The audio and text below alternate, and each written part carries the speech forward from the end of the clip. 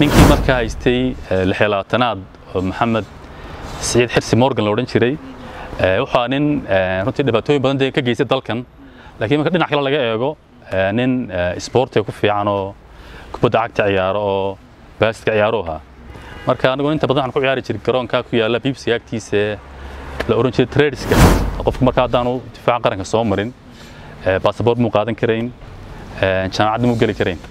Marka dadku ku qasbanay ardaydu inay difaaca qaranka marka inta badan askartaa la geli jiray dad macallimiinna way jiri jireen oo maarata macallimiin xal loo qaato marka saan sheegay anigu difaacii qaranka maanaan maanaan difaacin oo waxaan u baahan in qaranka iska difaacno mar dambana dugsiga tababarkii hawaare ayaan ayaan tegey wixii ka dhiman burburkii iyo dagaaladii dalka ayaa ku xigay oo dadkii markii dee dagaalo ka dhacay magaalooyinka waaweyn ee gobollada waqooyi nin awood badan buu ahaa maanu waqtigan islaynaysaan iyo niyo marka dee qofka tiisa waa la siiyaa.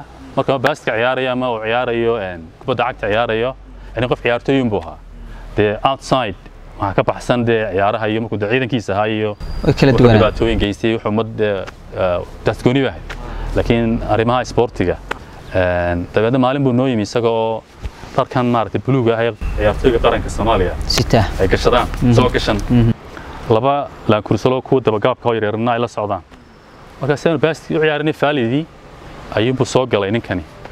Waxaa soo galay askar duubcasa garoonka ka wareegeen markaa anagoo talota miyaa idin qabanaya. Ayuu markaa buulla soo galay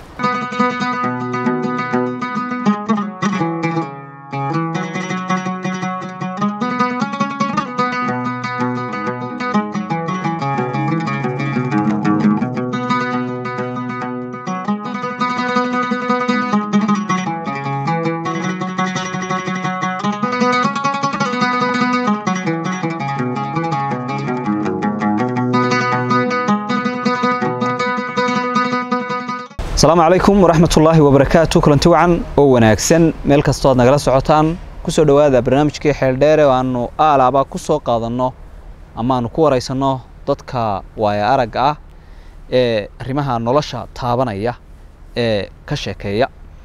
Waxaa maanta barnaamijka magaalada hargeysa marti noogu ah saki cabdika saki cabdikariin dool oo ka mid a qurba joogta reer somalilan reer hargeysadii horena ahaa wax ka bartay magaalada hargeysa dhowr iyo soddon sano ka hor iminkana muddo dhowr iyo soddon sanaa qurbaha joogay ee waddamada yurub. Saki baan ku soo dhaweynaya ugu horreyn. Cali waa mahadsantahay adiga iyo codka bariga afrikaba.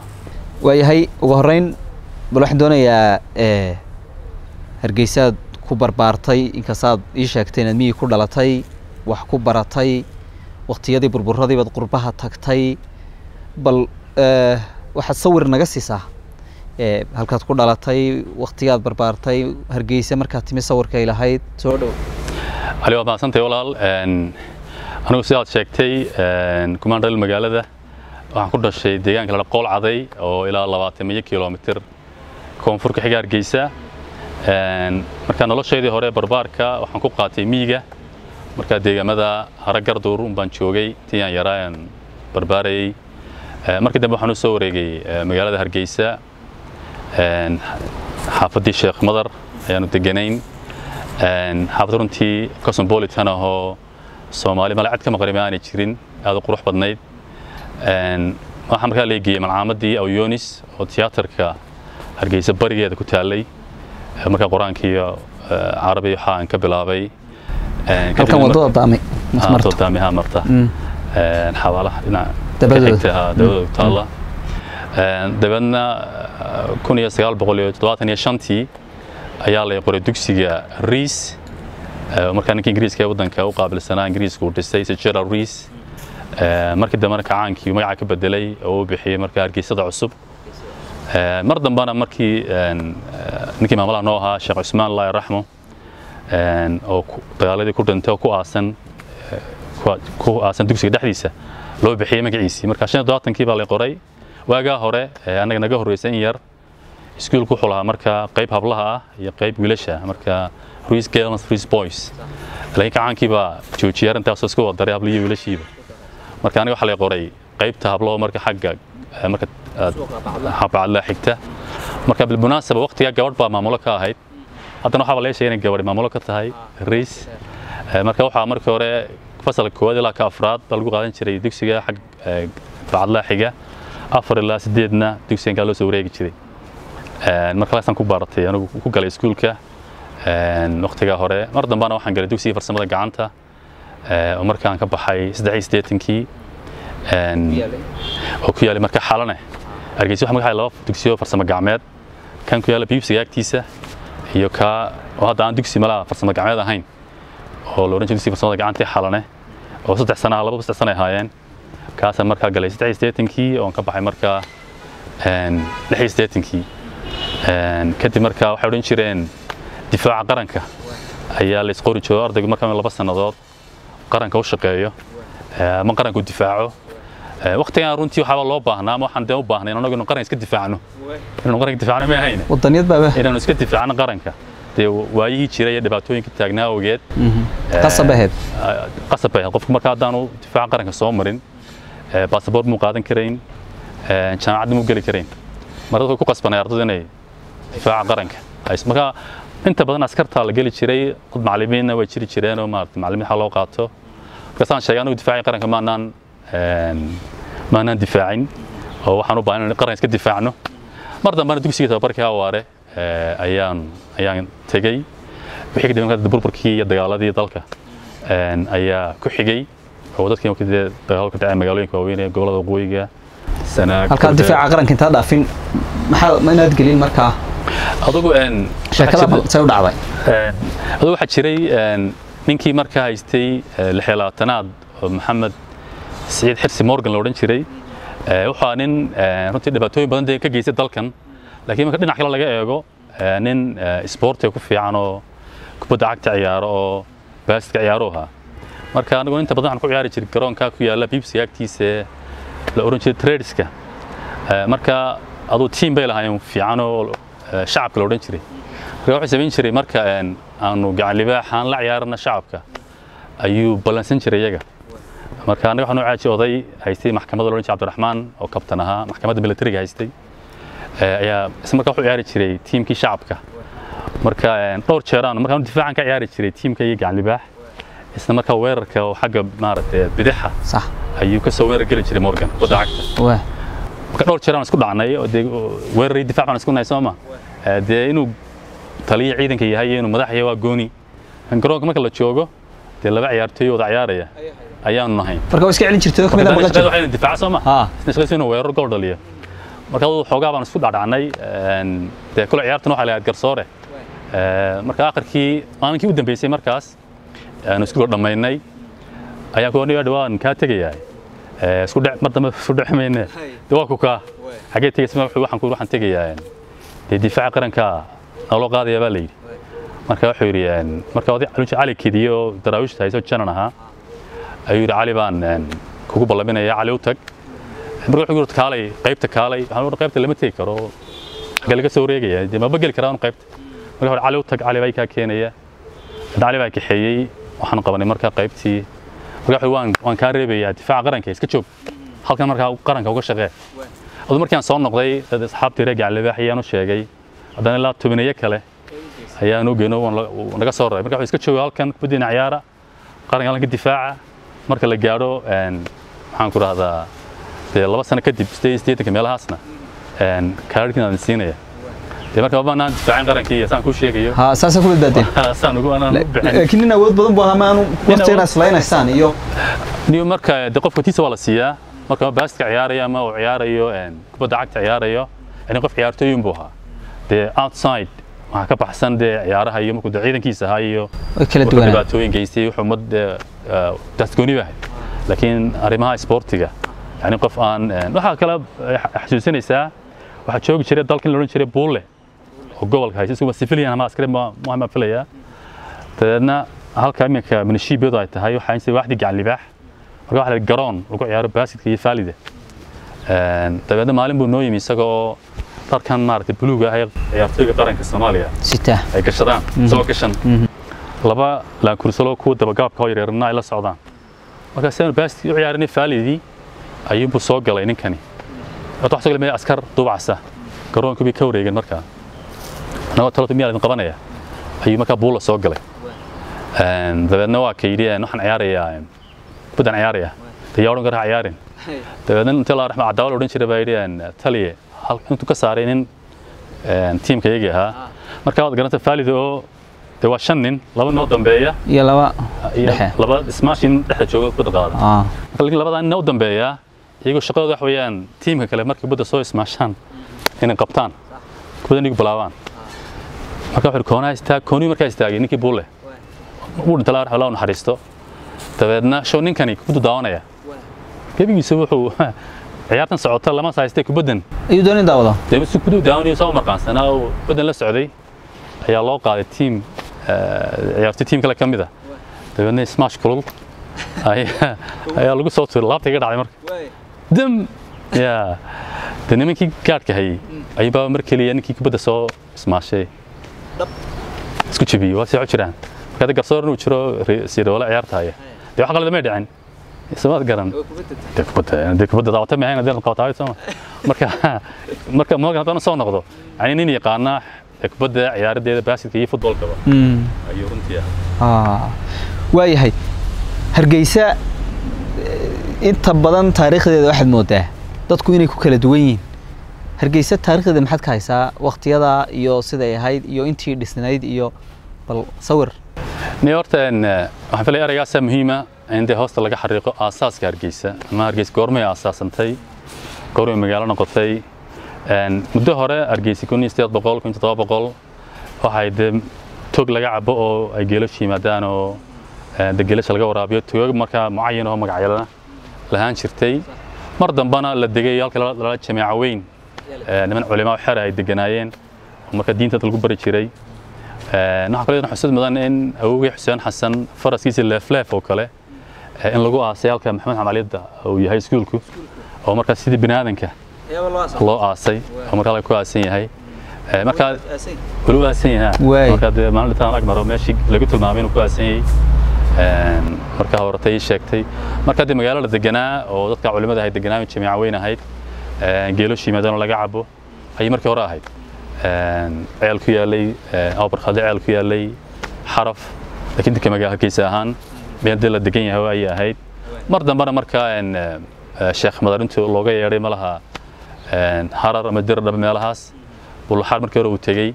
Kadib marka halkan uu yimid markaa culimmadii joogtay een, jameeco weyn oo malaha khilaaf iyo dagaalo ka dhex jiray reerihii deganaa hargeysa oo marka qayb ka noqday marka in la heshiis- la heshiisiyo nabdaan Eh, taasi markaa qayb kale ahayd laakiin dee magaalo la degan yahay oo dadku ay hore u deganaayeen ayay ahayd eh, hargeysi Mhm. Markii dambena dee ingiriiska markii hore caasimad ka dhigtay burco Mm.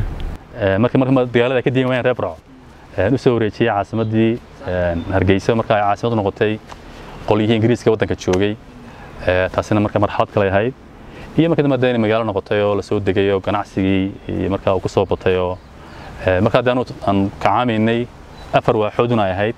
Markaa guriga sameeyey gacan libaax iftan iyo juun afartaa magaalo kooban oo dalka calaamadaha la yidhaahdo ahayd halka magaalada ugu dambaysa marka xagga koonfur la tegayo Ee, halkana malad la baar waraab oo kale ee, bariga magaalo kooban oo dadkooda is yaqaanaan ee, ay ahayd. Marka kacaame dee aasaaska hore hargeysa haddii dee saa laga wado meeladii laga cabo la degan yahay dadku geelasha yimaadaan jamiica weyn culimmadu joogto mar dambena saan sheegay sheekh madar?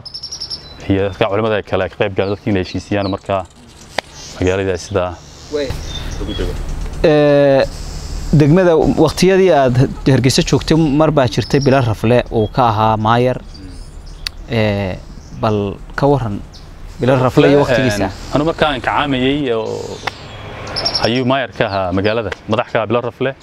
Runtii wax badanna inkastoo marka aad loo habaari jiray bilo rafle wada magaalada waxay ahayd aqal soomaaliya oo maaragtay dee imka halka maxamed xamali oo kale iyo xaafadda dumbuluq oo kale aqal soomaali. Xaafadda laba nuux eh, sheekh martaan kuu sheegayo eh, xaafadyo buulal bay ahaayeen. Marka waa ninkii horreeyay isku dayey markaa inuu magaaleeyo hargeysa oo toddobaatanaadkii horraanteedii marka aqal soomaalidii burburiyey ee xabaalihii baabiyey. Oo hadda halkaa iskuulkaan ku leeyahay waa maxamed cali xabaalo ahaa lagu aasi jiray. Marka laamiyada u sameeyey ee, maxaan ku rahdaa tiyaatarka dhisay carwada dhisay waddooyinka qaar dhisay. Marka ee, debel waxaa nin nin shaqo ahaa runtii. Ee, isaga waxaa ku mudan ahaa inuu magaaladan ka shaqaysiiyo dadkeeda. Mm. ay marka magaalo noqoto. Oo marka tuuladii weynaatay markii hore ay ahayd ay ka baxday marka waxyaabaan xasuusto anoo gurigayga wuxuu ku jeeday. Guryaha laamida carwada ku jeeda ayaanu deganayn ha tiyaatarka carwada ka dambeysa guryaha ku jeeda aanu deganayn marka wuxuu samayn jiray oo kale halkaa iminka laamidaas waa malaa hadda waa la samaynayaabee? Waxaa laami laba haad leh laakiin meel dhaxayso oo ubax laga beero ilaa jeelka lahaan jirtay. Dabeedna wuxuu samayn jiray horta intaanu isagu imanin oo maalin walba maalin jimcaha mooyaane ayaa waxaa jiri jiray loon jiray jaadwalayaal oo dhulka xaadha. Marka ilaa afarta ayay iman jireen marka laamiday xaadhi jiray marka carwada ilaa jeelka. Marka saxar yar inuu yaallo laamida lama ogolayn ogolayn marka nimankaas xaadhaan laamidaas ayaa waxaa iman jirtay ee lahaan jirtay minishiibiyadoo dowladda hoose oo markaa waraabin jirtay ubaxa. Markaa shanta galabnimo ayuu soo istaagayaa bilarafle oo lantrofigiisii wataa carwada dabeedna lug buu ku marayaa carwada ilaa uu ka tegayo jeelka ilaa jeelka intaa uu soconaya inuu baaladeemanayo wuxuu eegaya labada dhinac. Labada sekadood soo eegaya laamida. In wax qashina hor yaallaan. Marka haddii caagad yaro biyo hor taallo gurigaaga adigu aanad dhigin waxaa la marinayaa casaan gurigaaga. Marka adaa ka mas'uula caagadda hor taalla gurigaaga. Maxaad u ogaan weyday in lagu taksiyado markaa khatar ugu jirta. Marka magaalo uu ka warhayey uu nidaamiyey runtii dadkuna sharciga malaha odhan maayo way ixtiraameen ka baqanayeen. Ayuu bilaraf lahaa oo dee waa guriga weyne xisbiga la yidhaahdo. Ee idaacadda ka soo horjeeda sameeyey. Qorshadu markaa ahaa wax alla waxa dowlad xafiis ay leedahay ama wasaarad leedahay inuu halkaa ku soo xareeyo. Oo markaa shaqaalo dowladeed oo civilian ahay halkaa uu soo galo wasaaradda heblaayo wasaaradda heblaayo halkaa laga helo. Dabeedna uu lixda hor istaago kadinka laga galo. Dabeedna goormaad socotaa marka ogaado qofka soo shaqaalo ahay xilligu shaqada gelaya xilligu ka baxayo laakiin nasiib darro isagoo aan dhammayn ayuu kacaankii bedelay maxaan ku rahdaa bilaraf marka nin magaalada ka shaqeeyey nidaamkeeda runtii dowlad magaalo ahaan wax badan ka qabtay ayuu ahaa bilaraf leh. Mar dhaxaas waxaa malin yimid oo soo booqday oo uu joogay hargeysa? Ah. hadduu sidaa wax ugu wanaagsanaa inuu magaalada qurxiyo wax ka qabto oo heegankaa ku jiray maxay ku necbaan dadku? Dadku Soomaalidu ma jecla sidaba isbeddelka ma jecla oo dee nin xaafadii aad deganid qal Soomaali ka kala tuuray ee waxyaabo runtii ay warkayeen dhibaatada waxa ka mid ah xabaalaha. Oo dee xabaalaha waxay xabaalo dadkiin ku aasnaayeen waddamada xabaalaha maxamed cali oo kale ee dib kale wada leefleef oo ku aasan waxa ku aasan awogay goora xuseen aniga walaalkii ka iiga weyn baa ku aasan dadkiina ku aasan sanad lagu aasiyay marka in xabaali cagaf la geliyo dee waxay qaadan waabi ku noqoto waa arrin maaragtay iyaga xaggooda ku culus. Ayay ahayd ninkan dee xabalaha cagafta gelinaya Mm. ama dee maadaama loo deganaa reero Marka ka abay ka cabashay ka qabeen. Laakiin dee marka de la eego maaragtay dee faa'iida weyn. Dee ninka maga- magaalada hargeysa nidaamiyey waddooyinka u sameeyey iskuullada u dhisay tiyaatarka dhisay carrada dhisaan sheegay ayuu bila ahaa. Waaya bal waktigaad hargeysa ka dhooftay iyo qaabkaad uga baxday iyo waktigaa dalka waxa ka socday ayadana. Niyo een dawaatii dalka aynu soo galnay een ilaa laba bilood iyo badh laba bilood baynu ku jiray magaalada ku jiray magaalooyinka waaweyn oo tii lanaga saaray banaanka aynu baxnay. Ee dabeedna dib abaabul dambe oo tii la galay ee ururkii dhaqaalaha wadaniga Soomaaliyeed. Ee kadib markaan anagu aan ka tegay wadanka waxaan joogay meel Baargo dabada Baargo oo dhimbaryaal agteeda marka ciidanku deganaa.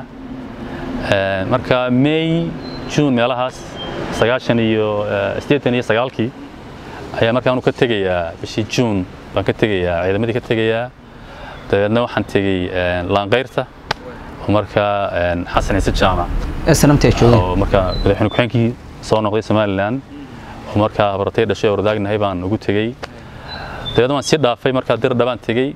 Markaa anu qorshahaygu muu ahayn inaan dhoofo. Laakiin nin abtihaayo france degan oo markaa nin maalqabeen ahaa oo la yidhahdo galeeri guure ayaa yimid Djibouti baa la yidhi.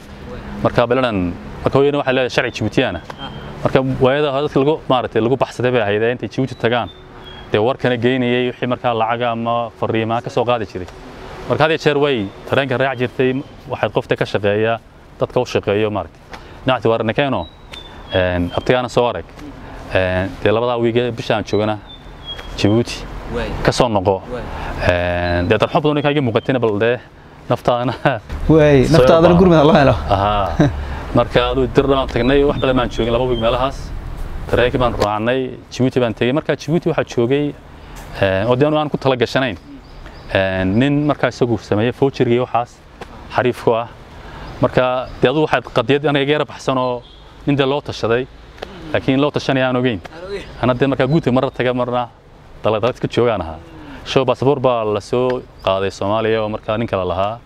Aduu waa la farsameeyey sawir baa laga qaado oo lagu dhajiyo fiisiya foojiri wax noocaas. Aduu waxaa leeyahay qalqaaliya safar ah inaan tago markaa ingiriiska aan tago. Oo markaa fiisa dalxiisa maxaan dalxiisa marka laga laga naxaya waaya ayaa markaa laga qalqaaliya. Maxaa markaa lagaga qarinaya ma diidaneed mise aduu dee ha mawjid iskala haysta ahayd anu dee maabaan dee lagu odhan waad dhoofaysa ani waxa lagu yidhi abtigaa baad soo arkaysaa dabeedna soo noqonaysaa dee qorigayga waxaan u sii dhiibtay nin aan isku ciidanka ahayn oo qorigaysi hay aan soo noqonaya qoriga marka waxay doonaysaa inay ku difaacdo dee qorigaygu buu ahaa laga soo siiyey awaare Ah. nuur madoobe ahaa marka dee nin safar u baxaya oo dhoofay maan ahayn nin dee abtiga soo arkaya oo soo noqonaya eh, ayaan ahaa dabeedna markaas waxa la war waxbaa u sheegin hawshan oo dhameey Mm, hooyana waxay islahayd lexjecla haysa inaad ka- kaa badbaadiso adu dagaaladan markaa kaftankii dhex maray hooyada iyo xasan ciise dee inanka ee, habarta u tahay Eh, iyagu markaa talisku wuxuu ahaa laanqayrta marka dee rag badan oo sanama xasan ciise jaamac cabdulaahi askar allah raxmo rag fara badan baa markaa joogeen laanqayrta wada markaa balgubad lama iman waagaas. Marka waxay dee kula kabtan raggan miyay miyay jihaadayaan raggan soo dagaal kuma jiraan. Soo ma halgamaya halkan fadhiya. Oo marka walaashay cusub ay u samaynayso quraacdii iyo shaaha u karanayso soo halgami maayaan. Soo rag halgamay ma tiidin. Dee marka anu wiilasha keligii weeyaan hooyo marka ila hodoonnay aniga bahdayada marka waxaa tii halka baa ka halgamay isagu dhiis. Halka maxaa se u keeni isaga. Halka buu ka halgami lahay intaad faranta geysay kii yaraa keliyan lahaa. Ashu marka taasina iga maqnayd maan dee discussion iga horreeyay bay ahayd marka takhtiid la dejiyo maartin mashan laga saaro. Laykixeeyaba anu aanan ka warhayn baa ayaa jira. Marka sidii baa adigu diyaaradda laygu saaray. Dee markaan uga digay saddexdii sebtembar eh, sideetan iyo sagaalkii baan ka degay markaa london anigoo markaa eh, diyaaraddu ma lagu saaruun adigo runtii markii halkaa dhibaata yar qabsatay oo maxamed yuusuf diir qaraadh oo ka salaamayo oo la degan Mm, ayaa markaa tiirka ii soo gooyey. Markii lacagtii la soo diray lagu dhoofayey ayuu markaa nin carab is yaqaaneen oo yamani ah oo tiirada gooya air france.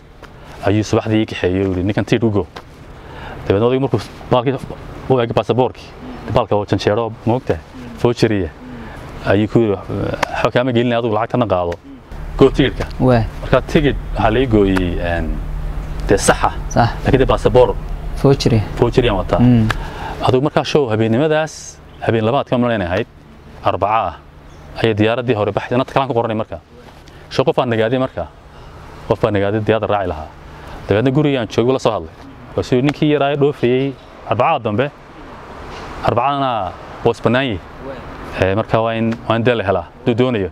Ama gudda ku maqan ma joogaba goor dambaan imid asaga war habeen dambe ayaad baxaysaa. Iyadoo marka dhanta la meedhay weliba dharkii qoyan yahay oo waay ama dee dhoof aan ahayn. Mhm. ayaa markaa diiftiina waxaa ka soo kabatay aduu lay tabataabiyo baageer lay iibiyo. Sidii markaa garoonkii lagu geeyey anigoo markaa dee diyaar u ahayn. Marka marka diyaaradda markaa cadan jidda paris iyo london. Oo goan baaga ayay markaa lai goyen sidii markaa ku tegey london waa sebtembar sideetan iyo sagaalkii. Saddexii bishaan ka degay london. Marka dhowr cishaan halkii garoonka dhexdiisa igu hayeen oo su'aali waxay weydiinayeen. Kadib markaa inta lacagiisa ordu magaalada gal dee sida marka magaaladii hubida la siiyey nambarka eh, ciwaankiisa aan ku tegey markaa rag kale oo joogan aan ugu tegey marka. Marka dee nolol runtii aanaan markaa qurbaha bal noloshii qurbaha ee aad sagaal iyo siddeetankii gashay waqtigaasoo dalka dagaala ka socdeen. Bal nolosha qurbaha waqtiga ka war. dee macluumaadkan isgaarsiintuna aanay jirin Mhm. oo dadka dee Ah, warbixin laga Ahaa. Mhm. marka anaga iyo waxaanu tiri markaa dee qurbe iyo magaalo aan noo diyaarsanin annaga aniguna aanan u diyaarsanayn magaalada. Haddii iminkaan dee tago berri jabuuti ama jigjiga dee waa magaalo diyaarsan masaajidkii leh wax kastoon u baahan baahidayda magaalada ay yaallaan weeyaan oo markiiba daan la qabsan karo. Marka waxaan dee magaalo aanaan afkeeda aqoonin diinteeda aanaan de haysan dhaqankeeda aanaan haysan dee waageyn aan xataa garanayn meel laga soo iibsado alaabtii waxa. Soomaalidu ku yartay. Soomaalida ku yartahay inta joogtaa intaan hodheelka aan ku wada jirno ay tahay. Mhm. Eh, hodheelku ma hayn meelahan wuxuu lahaa meel kitchen cuntada lagu sameeyo. Oo marka waxay dhahaan cuntada soo iibsada idinkaa karsanaya. Marka niman reer xamar oo carabaha ka yimid baa runtii een, maalmii hore dhacaynaan iyo cuntada karin jiray markii dambe war idinka qof kastoo maalin kariyo oo dee sayni socon mayso. Eh, dabeedna waxaa maalinta hore lagu qoro la yidhi adaa maanta qadada adaa qadada karinaya. Oo maxaa la karinayaa? Waxaad karinaysaa baasto. Marka waxyaabii dee xiisaha la waxaa ka mid ahaa in baashan baastada ahay inay bislaatay sida loo ogaanaya. Dabeedna waxay idhahdeen intaad saa u qaado ka hoos saarto dee dheriga baad gidaar ku dhufanaysaa hadday qabsato way- basishahay haddii kale hadday siibtana waqti waa hordo waxyaaba noocaas oo dhadhamintii gacantii lagu eegaya ma jiraan. Ma jiraan ma jiraan. Marka een, dee walaa duruufo aan u diyaarsanayn oo runtii adkaa ayaa yaalay oo dee masaajid iyo waxaa lama hadalayo. Guriga wax lagu tukanaya ninkii tukanaya badda. qolalkan yare aan deganay baanu. Waxta hadda qibladu waa halkii cabaar in la soo ogaado ay qaadanayso. Oo dee diintuba yarayd oo aqoonta loo lahaa yarayd aqoontuba yareed diintuba yareed. Runtii adaan ku soo noqdo halkaa een, soomaalida tagtay qurbaha siiba ingiriiska. Saddex meelood saddex goor bay tegeen qaar dagaaladii baa loo qaaday labaadii adduunka iyo malaakii koowaad laga yaabo oo cadani laga qaaday. Rag marka mar horoo tegey oo dee wejiguun iyo dhaqanka soomaali ka ah. Laakiin aan dee soomaalinimo iyo islaamnimo badan ka agdhoweyn ayay ahaayeen. Kuwo kalena kuwo een, qolihii badmareennada ahaa iyagu siimaanada ahaa ayay ahaayeen. Qudhooda iyagu maarata dee ha badnaadaan rag iska muruqmaalahoo ee, dee masaajid iyo markii hore laga geli jiraba ahaayeenoo marka raacay aqoon diimeed lahayn. Meeshay tegeen aqoon diimeed nagu diyaarsanayn baa naga horreeyey xidhiidhkoodii soomaaliyeed go'ay. Go'ay. Oo marka aan wax badan ka haynin. Marka anagaaba qaxootigii ugu horreeyey ayaa markaa revivalka. Noqday. Iyo noqdeen dee islaamkii iyo masaajid samayntii iyo salaad tukashadii iyo hilib xalaal in la helo iyo hilib dee la qalo oo xalaal la helo iyo waxyaaba fara badan runtii noocaasa. Dadkii soomaalida iyo kuwii kaleba oo dee runtii waqtiyada aan tegayey masaajida ay leeyihiin nimanka hindida baa ugu badnaa. Ninka imaamka masaajidka tujinaya gurigu iska cunaya. Gabadhiisuna dhaqankii hindiya ayay wataan saari bay calooshuu qaawan tuuniga qaawan yihiin haddaba ninka imaamka masaajidka tushiya gabadhiisa marka xijaab iyo asturnaan dhaqan umay lahayn. Islaamkana wax dee culturekooda ka midun buu ahaa. Marka dumarkeennii alla haddaayee tegey dee qurbaha tegey Ha, waxaa iyagaa bilaabay marka xijaabka inay gashaan xijaabka weyne asturan gashadaan dumarka soomaaliyeed. Waa dadka muslimiinta ee qurbaha jooga u bilaabay inay is asturaan ay jilbaab gashadaan oo laga bartay iyaga waxyaabaa laga bartay soomaalida qaxootigii tegey waxaa ka mid ahaa in duruus la dhigto oo tafsiirka la dhigto. Sida caadiga waagaa hore iyo iminka meelaha qaar hataa dubaydan dadka lagu tukadaa laga dareeraa waxba laguma barto. Marka soomaalida waxay keentay inay duruus la akhriyo tafsiirka qur'aanka iyo axaadiista rasuulka iyo eh, kutubta caqiyada Dhaqankii nebiga. la fadhiyo marka masaajidka lagu tukado la fadhiyo saacada la fadhiyo duruus lagu qaato. Waxay noqotay wax kaloo laga bartay soomaalidii. Ama hadda la odhan karaba soomaalidu waxaabay ku soo kordhiyeen qurbaha ee togan.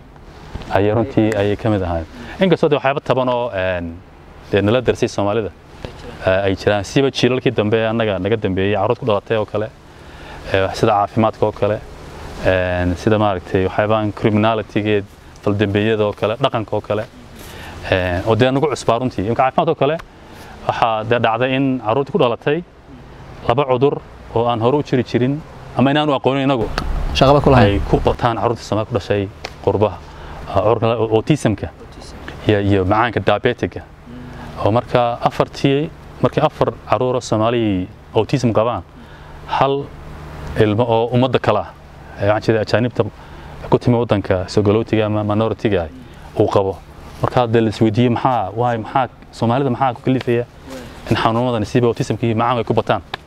Marka waxaa laga sameeyey cilmi baadhis iyo scientific research oo maxaa keenaya. Een, marka waxaa jira qaar laga sameeyey sweden oo kale gabadh la yidhaahdo martina olson laba kun iyo sideedii yani the prevalence xanuunkan ku batay soomaalida waay autismka maxaa keenaya australia oo kale gabadh la yidhaahdo een, eh, iyaduna eh, jaamacadda ka dhigtay gabadh soomaaliyeed oo jaamacaddan eh, london university ay wada sameeyeen. Een, waxyaabaha keenaya aut- autismka minnesota oo kale jaamacadaheeda toronto oo kale een, gabadha fatxiya fatima kediye in la baadho sababta. Marka adigu natiijadii maxay? waxay ku soo koobayaan dadka qaar. Inkastoo aan kuu sheegi doonaaye aanay ogolayn hay'adaha caafimaadka ee siba kuwa dawooyinka sameeya arrintaa laga yaabo inay researchka lagu helay inay laga yaabo yidhahda dadkii soomaalida kuwii yimid kuma dhican oo kale laakiin carruurtii ku dhacay xanuunkani. Marka waxay sheegeen inay laga yaabo inay tahay waxyaabahan lagu daro cuntada ilaa preservativeka ee cuntadu inay maaragtay chocolate iyo waxyaabaha inay xoogaa jiraan oo aan markiiba xumaanin waxyaabaa lagu daraa dawooyin oo chemical ah preservative kuwaas miyaa cuntooyinkan gacan ku rimiska ah ee la yidhahdo genetic modified foodka aduu waxyaabahaas ay u aanayaan. Iyo isdiidooyinka dadkan dee ka yimid cadii caana cuni jiray ee soomaaliya ku dhashay aabiyooyadii. Ilmihiina waxaa markiiba uu hanan qaaday. Dnagii baa markaa ma- ma- marka qolyaha een, wasaaradda caafimaadku iyadoo dowladda ma samayso. Laakiin waxaa jira kambaniya private ahoo eh, pharmaceutical companies ama eh, iyagu dawooyinka sameeya. Marka kuwaas iyagu xanuunka ku- kuraadan wuu ku hayaa ayuunbaa ku haynaya. Dawada ay kuraadan daway kuu tahayna daway ku noqonaysaa adigu markaa Xal kama- kuma sheegayaan. kama leexan kartid. Dee xalse kugu sheegay xanuunka inuu ku hayo oo macaanku ku intaad dhimanaysa danbaa ugu jirto inay dini kaa iibiyaan. Marka iyaga xal ina dawoodaa een, xal uguma jiro in la ogaado waxaan koosgaraynayo la joojiyana xal uguma jiro. Marka waa in suuq loo helo. dawo iibiyaan. Waay dawooyin suuq bay iyagu maaragtay u furan dawooyinka. Marka waxaa cilmi baadhista la sameeyey dee caalamka meel walba Canada Mareykanka Ingiriiska Australia way daadafeeyeen waxay waxba kama jiraan. Eh, marka carruurtii way ku dhiban yihiin oo macaankaasa in badan ku dhacay. Eh, markaas xagga caafimaadka. Soomaaliya ka hortimo diyaar aanan ahayn. Mhm. ayuu noqday. Waxaa ka mid ah een, xagga faldambeediyada Mm. oo carruurtii markay kacaameen. Eh, runtii iyaga qaladkoodana ma aha. Oo ilmihii markuu iskuul tegayo laga yaaba in carruurtii toddoba carruura lix carruur ay yihiin. Laba qolo yar bay ku jiraan. Iskuulkii wuxuu soo dirayaa shaqo guri maalin walba wiig walba inuu ilmihii ka shaqeeyo.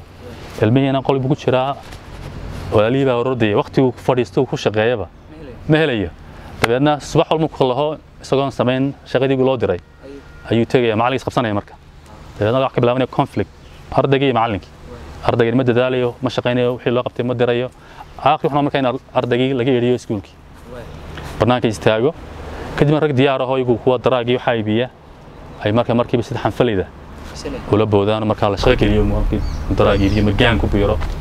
Kadib markaa ilmihii uu xabsi uu ku dambeeyo. Waxaa jirtay maran jaamacadda dhigan jiray sowas Mm. marka xabsigii baan tegey bal inaan dadka madow ee dhalinyarada ee ku xidhan meesha ka war doono. Dad waxaan ogaaday inay soomaaliduba nambarka labaad tahay ee ku xidhan dhalinyarada xabsiga laakiin de soomaalidu number two kama aha populationka een, ingiriiska. Xataa kama aha dadka minority-ga degan soo galootiga two kama aha. Laakiin nambarka ku jira xidhani uu aad badan yahay. Marka waxaa keeno saan sheegay iyagoo iskuulkii maaragtay de ka saaqiday iyaguna markaa qaladku aan ahayn ilmihii haddaan homework samayn karin ama aabbihii hooyadii aanay ka saacidi karin wixii loo soo diray inuu markaa sidaa ogeed looga yidhi iskuulkii in markaa mararka qaar aabbuhu maqan yahay waxaa jira erey caan la yidhahdo absent father. Yani aabbaha maqan haba joogee oo runtii laba qaybood dee aan loo qaybiyo qaar shaqeeyo. Dadku miskiin dadku muruqmaal ah. Yaabaa inuu shaqeeyo qofkii labaatan saacadood salaadihii iyo masaajidadii iyo maqaaxiyana soo maro marka ilmihii baanaan waqti badan isu helin iyo qaar jooga runtii oo dee maqana jooga oo markii sidii horena dhaqankeedii qaadkii- hay iska fadhiya meelaha Wadada qaadkii waxaas markii hore wareeriyeen ama dee meelaha ka sheekeynayo qabyaalada iyo xisbiga iyo fadhiko dirirka ku mashquulsan marka ilmihii aanu helin aabbo runtii dee hago oo ilaaliyo maaragtay hooyadiina awood uma hayso hooyadiina dee waxay ku mashquulsan tahay inay cunto kariso dharka u maydho noloshooda qofkii isagoo aabba xataa jooga aabbalaantaasna waxay keentay waxyaaba badan oo criminality inay galaan. Waxaa kaloo iyadoo dhacday dadkan dee fikirka qaldan ka aaminsan islaamka ummadaha qarxiya inay marka halkaana ku yeeshan saameynoo waxaa la extremismka iyo eh, in de marka ilmihii islaam qaldan loo sheego oo inuu dadkii qarxiyo ama uu terrorist galo ama waxyaaba noocaas adeena dhibaato kala noqotay. Oo marka ilmihii de la xidho sama waxba dee aan geysanba laakiin marka lagu qabto in waxaa ku jiro xabsi la geeya marka. Marka waxyaaba noocaas oo fara badan. Ayaa carruurtiina ta kale een, dhaqankeennii oo dee ilmahan isagu Somali culture ama dhaqan Soomaaliyeed ma garanayo dee lama kuma dhalan halkan ku dhashay. Marka in wax ka qabsi dhibaato inay la jaan qaadaan. Marka aabihii iyo ilmihii ay kala dhaqan noqdaan. Ama aabihii iyo hooyadii iyo ilmihii iyo hooyadii. Dee laba qof oo runtii is dhalay. Haddana aan isfahmaynin isku dhaqan ahayn isku si wax u arag marka xaggan dhaqankiina dhibaata ka timid oo dee qofmihii islama een, islama jaan qaadi karaya dhibaatooyinkani dadka waddanka u dhashay yurub may ayagaa sidaa u haystaan saasay u haystaan ha waa waxyaabaa dhaxalkii meeshaan ugu tagnay aa ugu tagteen waay waddamadan yurub marka ingiriiska oo kale iyo marka aad tusaale ahaan aad ingiriiska joogta iyaga laftoodu ma arkayeen isbeddelkan ku socda ee ama dhinacii diinta oo kobcaysa ama revolu- saxwooyinkan revolution waxaan la idhaha isbeddelka ama diintu ku yeelanaysa ama dadkan soo galootiga ku yeelanayaan aniyo een horta way arkayeen oo dee iyagaaba soo dadka soo geliyey.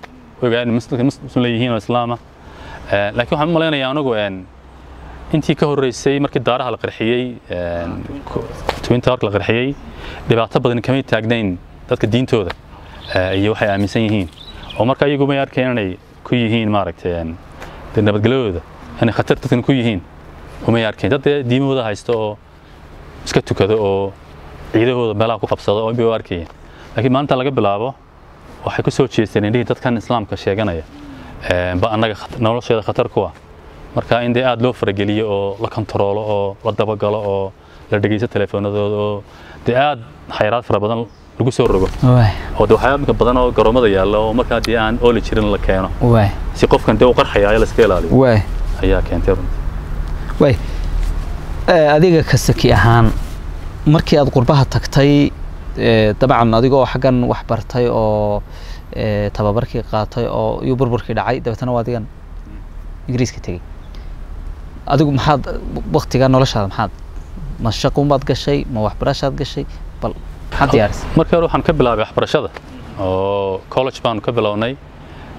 Dabeedna kadibna markaa jaamacaddii baan galay jaamacaddii koowaad south bank university marka runtii dee laba jeer aynu qaxnay oo marka qaxii hore ee dagaaladii hore ay dagaaladii iyo markan dambe iyo la soo noqoy haddana qolyihii meeshii ugu dee isqabsaday ee doqonnimadu qaaday. Haddana waa tii la qaxay mar dambe. Marka waan geli kariyay jaamacadda labayo sagaashankiiba. Laakiin haddana qaxaa dambe iyo dhibaatada ayaa keentay inaan koors yaroo part time intan galo shaqeeyana oo markaa habeenkii inaan shaqeeyo maalintii inaan college-ka tago. Marka afar iyo sagaashankii baan ii suurto gashay marka inaan jaamacaddii horeysay bilaabee london south bank. Kadibna markaa jaamacad kale oo iyadana south la yidhaahdo southampton university aan galo. Mar dambena jaamacaddan ku sheegay soas aan galo. Marka laakiin mar walba baahida waddankii taallay ayaa dee badnayd. Dadkeen iyo qaxooti jooga ama soo noqday oo baahan dalkiioo burburay marka dee suurtagal may ahayn waxbaan baranaya. Waana halgento nolosha la halgento marka xataa maga xawaalidu may jirin. Marka banki Djibouti ku yaalla lacagta loo diro oo marka halkaa ka soo wareegto. Waqti dheer qaato.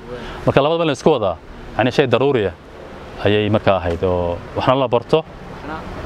Waqtina la shaqeeyo sidii dadkii loo maaragtay loo gacan qabto dhowr iyo soddon sannaad qurbaha joogtay dabcan dalka waad ku soo noqnoqotaa waad timaadaa waxyaabihii kuugu la yaabka badnaa kaala kulmay qurbaha.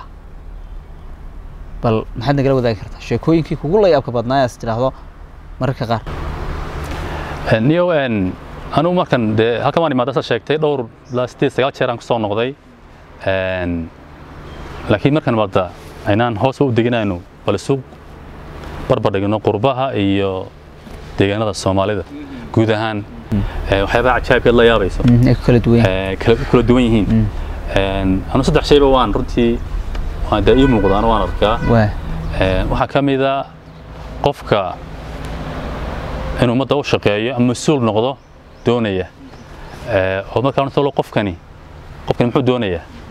Waa laba mid markaa qofka inuu doonayo inuu shaqaysto uu isagu shaqaysto macdaar furto sida dahabshiil bulshada furtada ilaa bilyaneer laa barakeeyo uu noqdo. Iyo inuu dee ummadda u shaqeeyo laakiin moodaa in halkaas lagu kala duwan lagu kala duwan yahay qofkani waxaan u socdaa aan labadaa midna ahayn. Laakiin labadaba inuu isku wado. Oo isku mar shaqaystana dadkana u shaqeeyo oo hadafkiisu yahay. Marka waxaa jira nin culimada islaam ka mid ahoo ibnu qayim marka waxaan ka sheekeynaa qalbiga bani aadanka marka nuuniyadiisa waxaa ku jirtay xub alkitaabi wa xub alalxaani fii qalbi lcabdi laa yajtimacaani yani qofku inuu qur'aan jeclaado iyo inuu heesaa jeclaado qalbigiisa.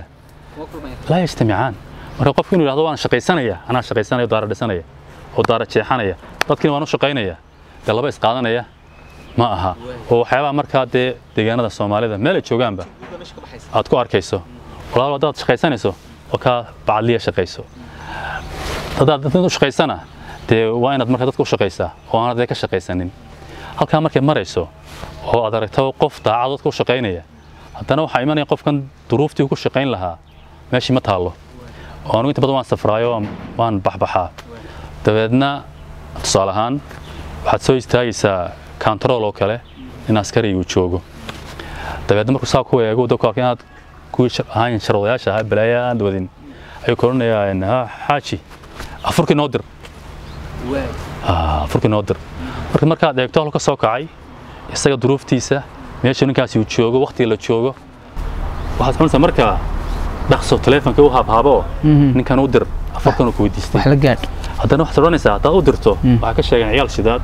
Ciyaalkan ay ka martay xabad baal maxaa la subxaayo. Ah, dabeedna markuu dee carcareel fulay baad tahay. Warwar caynkaa ma aha baashan kamaan baqanin.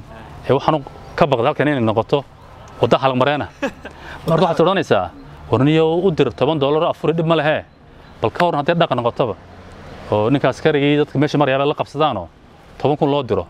Isla markaa aanu baadhitaan gaariyan ku samaynin. Marka waa siidooyin qalbigaa ku wareegayo. Ah, miyaan u dirtaa uma dirtid. Marka waxaan uga socdaa qofka u soo tafaxaytay inuu qarankii u shaqeeyo horta inuu u shaqaynaya. Meesha kama tegi karo ma bannayn karo kontaroolka hordhi ma qaadan karo ma seexan waa taagnaada diyaar ahaada. Dee qofka marka waa in la- eh, daryeelo nolol loo diyaariyo. noloshiisa isaga carruurtiisa faamiligiisa oo dee lacagta u qaataa yani isma dhowo lacagta ay qaataan qolyaha baarlamaanka oo kale oo laga yaaba inuu iska yurub tagaba iskaba dhoofo isagoo joogo hargeysa aanu xaadirin la naadiyo hebel hebel hebel ma joogo maanta.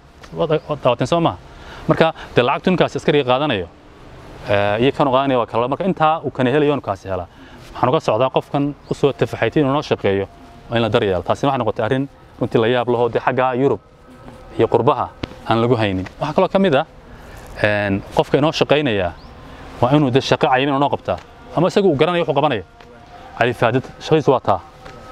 Qofkii shaqada loo dirayey shaqo cayiman maaha. Waa laga yaaba inuu wasiir yahay ama inuu maareeye yahay ama inuu wax kale yahay. Laakiin waxaa laga yaaba boqolkiiba lixdan waxaanu qabtaa inaanay shaqadiisii ahayn. Oo tusaale ahaan anuu ka soo qaadanaya wasiirka duurjoogta ka soo qaad. Yani waxa laga daray duurjoogtiisi aan maaragtay u xanaanayn lahaa u daryeeli lahaa soo ma? Laakiin halka waxaad arkaysa iyadoo la leeyahay wuxuu ku maqan yahay soo dhaweyntii madaxweynaha ama sii dhaweyntiisii xaflad buu shaqadeeda ka- ma ahayn. ma madaxweynuhu ama ahaada ka Soomaaliya ama ku kastaba dee wuxuu leeyahay xafiis madaxtooyo shaqaalaha jooga. Waxay qaabilsan yihiin madaxweynaha daryeelkiisa markuu dhoofayo markuu soo noqonayo brotokoolkiisa aniga shaqadeeda ma iyaga shaqadooda. Marka qofkii duurjoogtii dirsaday oo shaqadiisa waa shaqo aan ahayn Mhm. ku mashquulsan. Mid kale waa jirtaayo oo saddexaad oon ku arkay. Qofkan shaqada qabanaya oon shaqadan takhasus u lahayn waayo aragnimo aqoon shaqadan qabanaya uma laha. Marka waa un dee maqaan 4.5 Mhm. ayaa loogu buuxinaya loogu darayaa shaqada. Mhm. marka dee qofkii wixii aqoon uma laha marka waxay la noqoto.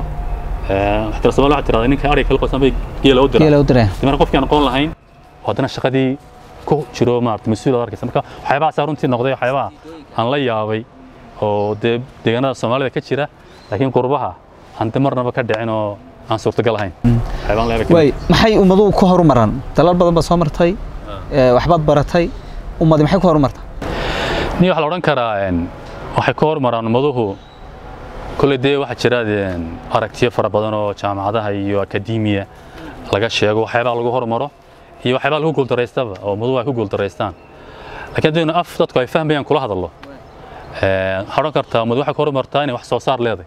Kow number one ummaddu nationku waa inuu wax soo saar leeyahay oo calalaqal wuxuu cuno iyo wuxuu quuto uu soo saaro. Cabayaan wax noloshoodu ku xeeran waa inay soo saarto waa inay dibad uga baahanin laakiin hadda innagoo kale waxaynu cunnaa bariis iyo baasto. Inta waa lanoo keenaa. Waxaanu xidhanno waa lanoo soo waaridaa sharaabka la cabee hargeysa yaalla. Marka caanaha laga tago. Waxaa laga yaabaa in boqolkiiba sagaashan. Mhm. dibadda laga keeno. Caanaha laftooda dibadda laga keena sumad kale. Marka ummad wixii ay cunaysa soo saaranin dhib baa marka la soo food marka ma horumarayso horumarku wuxuu ku jiraa inay wax soo saar yeelato. Eh, oo hataa dee ay intay macdan ama wax kala beerto dhoofiso kalluun dhoofiso lacag aday marka ay soo gasho. Marka wax soo saar kow weeyaan horumarka dadka waxbay ka horumaran waxaa ka mid oo kale inay leedahay dee hay'ado effective ah oo shuruucdii dalka maadaama dee ganacsi iyo shuruuc iyo dowladnimo ay jirto fulin kara. Oo waxaa ku jirtay eh, gabaygii hadraawi habla weerar geli kara. Marka hadiyado sharciga fulin kara ayaa kow ka ah oo dalkani dee shuruuc iyo nidaam u leeyahy soo ma? Dee inta la qoro in shelfka la saaro maahe hay'ado ma baarlamaan ha noqdaan ama booliiska ha noqdaan ama garsoorka ha noqdaane fulin kara oo madaxweynaha iyo wasiirka iyo komishineerka cid walba dee sharciga ku sandalooyin karaa inay jiraan. Oo markaa sharcigu sarreeyo cid fulisana la hayo. Taasina waa waxyaabaha ummadi ku horumarto. Waxaan kaloo is leeyahay halbeegga. Dad nooceeyaynu joognaa dad nooceeyaynu leenahay deegaankiina waa sidee oo markaa wax lagu tilmaansado oo halka dee wasaaradda qorsheynta qaranku ay noogu jirto in horumarkeenna ay ka shaqayso halbeegyada. Haddii halbeegu qaldan yahay. Oo tusaalehaan waxaanu ku nool dalkeenu waa dal roob ku yar yahay. Yani samid odhan karo waa saxaro ku yar dhow yahay. Maxaan ku idhaahdaa dadkiisa waa xoolo dhaqato beeraleya marka waa inay waxyaabahaasi noqdaan waxyaabaha halbeega nolosheenna ee horumarka lagu qiimeynaayo. Laakiin haddaynu dhahno waanaad ka maqashay in badan oo qolyaan wax bartay oo marka doonaya dadka inoo sheegaan horumarka yidhaahda singabuur sidan ay noqotay singabuur sidan weeye isku dad ma nihin isku miqyaas ma nihin isku duruuf ma nihin isku deegaan ma nihin oo inagu gabaal baan iyagu waa qoomiyado oo jiniiska iyo nimanka la yidhahdo malayga iyo hindida oo qoomiyado qabaa'il maaha ta kale isku deegaan ma nihin hadda singabuur waxaa dhahda national resource maba lahaba beeraanay lahayn kalluun baanay lahayn waa dad nolosha u halgamaya waxaa kaloo cajiib ah in dadka maaragtay waxay yidhahdaan literacyga intee wax qorta intee wax akhrida intee aqoon leh hadda singabuur boqolkiiba sagaashan toddoba ayaa waxna qora waxna akhriya. Halka soomaaliya oo dhan ay toddoba iyo soddon boqolkiiba qora waxna akhriyaan marka dee gaab weyn baa jira oo innaga inoo dhexeeya singabuur marka iskuma dhararin karno halbeegeenu ma noqon karo singabuur maadaama deegaan ahaan dad ahaan aynaan isku mid ahayn. Laakiin dal inala mid ah oo markaa deegaankeenan oo kale duruufteennu maxay tahay maxaynu u baahannahay in halkaa laga galo horumarka. Waxyaabaha halbeegu inuu kaa qaldamana dhibaatooyinka ka mid tahay qofku inuu dee horumar samayn kari waayo. Sidoo kale qofku wadaniyadoo kale qofku inuu wadani noqdo oo dalkan inaanu karo ugu jirin ee uu dalkiisii yahay oo isagu leeyahay ogaado oo runtii aamino ka shaqaysto oo dee markuu caagadda biyaha ka caba aanu ku tuurin dariiqa waa dalkiisii waxaad arkaysay mar dhexda ahayd puntland dhulka la yidhaahdo oo geedkii quwaaxa iyo dhir badan la iib geynayo oo dhulkii bay xaalufiyeen dadkii lahaa baa xaalufinaya halkan waad aragtay harimacadka waa la iibinaya dadkii lahaa baa iibinaya. Marka qofkani qof dee ajnabi oo guriga kale ugu jiro kale dalkiiba dad aan lahayn. Qaxoonti oo kale waa. Marka dalkii inaad yeelato oo dalkaagii yahay aaminto waxse waxyaabahaas qofku inuu dalka u shaqeeyo ka shaqaysan ogyahay wax meesha u joogo la daryeelo qofka dadka ugu shaqaynaya shaqadiisu oo cayiman tahay oo wuxuu qabanaya la garanayo waxaana ku ekaanaya wax kale aan loo dirayn. Iyo qofku inuu himilooyinkiisa iyo halbeegiisu uu saxan yahay. Intaas inoo dhaxaysa innaga iyo maaragtay. Kuwa horumaray inta dhan bay ka rumeeyeen. Inta dib dhacday aan hagaastayna. Intaasaa ka qaldan. Ilaa burburkii dabcan waad joogtay soomaalida meesha quraad sodhan karto dhibaatadeedu way ka bilaabmaysaa mar kasta. Ma qabyaalad baa maxay noqonaysaa anigu waxaan mar walba idhaahdaa dadku waxay eedeeyaan runtii qabiilka. Oo qabiilkii ayaa maarata qabyaaladda waxaan keena ayay waxyaaba badan ayay sheegaan. Laakiin waxaan aaminsanahay maamul wanaagga ama la'aanta maamul wanaag baa aabbayi hooye oo ah dhibaatooyinka burbur ee dhaqaale ee siyaasadeed ee dhaqan dhaqaale ee ummada haysta. Meel kasta ha joogaan. Soomaaliya qaar kale haadaan. Maamul wanaag la'aantu waa waxyaabaha walaal keena dhibaatada qofka haddaan ogeyn dalkan anigaa leh dadka waan u shaqeeyaa kama shaqaysto shaqaan mas'uuliyad baa saaran. Haddii waxaan maamulaya haba yaraado inaan markaa u xaqsooro dalkii ama qarankii inaan markaa maamulka hagaajiyo waqtigii laygu talay aan soo shaqeeyo wixii yaraan helana dadka si siman aan ugu qaybiyo markaa jeeruu intuu maamulku xun yahay oo maamul wanaaggu uu markaa fadaraysan yahay dalku ma horumari karo laakiin maamul in kale helo maamul wanaag qofku mushaarkiisa uu helo maalinta ay waqtigiisii tahay shaqadiisa uu qabsanayo uu og yahay inuu shaqo ku heli karo wuxuu yaqaano ee aanu ku helayn cidda uu yaqaano oo markaa dee maamul wanaagga inta iyadoo la wanaajiye mooyaane ummadi ma horumari karto waxyaabaha burburiyeen waxaa ka mid ah aniga ra'yigayga anuu qabiilka ma eedeeyo. Qabiilku haddii la tababaro oo maamulka loo sheego waxay xaq u leeyihiin helaan dee qofku anu da imika ninka madaxweynaha haddaan waxbarasho helo haddaan caafimaad helo haddaan wadooyin helo haddaan biyo helo maxaan uga baahanay anu madaxweyne noqon maayo. Hadduu intaa ay siiyo allah ha barakeeyo laakiin maalinkan intaan waayo إلين كيان جامعات كذا بحني. امتحان كان كسر رئي إيه أنا جا مارت إيه، أنا قش غني إيه، هوم وركيسة وشقها له أنا شقوا أيه لما كان واحد مصوب ما صوب سوق ليه أو نحن كان حياة سؤال كي. أنا أنا جا رأيي جا يا باي حياة بطن. هو كبلا ما حي. إن أنا جا نسميه وعي مملوناك. حتى مملك الصحة. سي بي إيه مملك كذا الصحة. هذا هو ضلعي كرتو. كرتو هذا كحرنته هاي. مركا لباتوين بدني. Marka ma imanaya walaal intaynaan soo gebagabayn dadku aan dhoofin ee badanaa wada deegaanada soomaalida jooga waxay aada u jecel yihiin marun dhoofaan. Dadka intooda badan saad aragta dadka qurbaha joogana dhibaatooyin badan baa haysta. Oo ay ka mid tahay dee dalal dhisan markay tagaan. Qof dal dhisan tegey. Oo aan dhismayn oo intaasoo boqol oo sano dhismayey oo laba qol oo yar isagii caruurtiisii iyo saad horeba uga dhawaashaday degay oo cidhiidhi oo haysto oo ordayo oo bal taa lafteeda. Iyo horta bahalkan warbaahinta ayaan filayaa inuu qayb ka yahay hiikacadku ay hiikacaanayeen yurub inay tagaan. ama inay tahriibaan. Maxaan ku rahdaa ku kalifaya. Waay iyagoo dee xaqaiqda ka taagan halkaas. Aan waxaan ogeyn qori buger laahdo qurbaha maxaa naga qabsada waan qarsanaynaa oo dhibaatooyinkiina soo maray ayaan ku soo yaro koobay marka de qofkii ma oga qofki waxaa arkaysa aad sheegtay daaraha dhalaalaya ee fooqyada waaweyn ee ee layarkaa baxaya gawaadhida maogtahay kii qofkii arkaa. Laakiin duruufo ku nool yihiin. Runtii dee lama socdo kuma eedaa ma laha.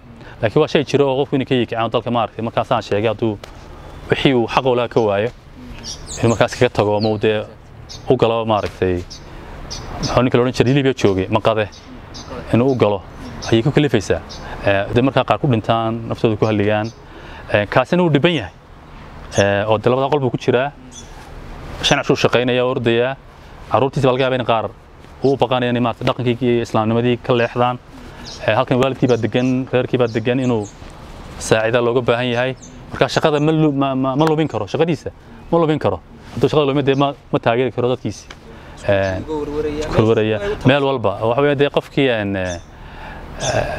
dee waxa bay-adii baa ka badan oo qofkii iskuul buu tagaa saaxiib buu leeyahay telefishinkii baa jira jaraadkii baa jira bay-adii baa jirta. Wax kastaaba waxaad sheegto wax ka duwan. Ilmihii dee u sheegaya ummaddii marka qofkaasi qof warwar ku nool hortii jeclaan inaan ka yimaadaan. Eh, haddii waxyaabaha qaar la fududayn lahaa oo aanay jiri lahayn waxaan qabaadad badan inay soo noqon lahaayeenoo. Ka degi lahaayeen. Laina way soo arkeen iyagu dhibaatada.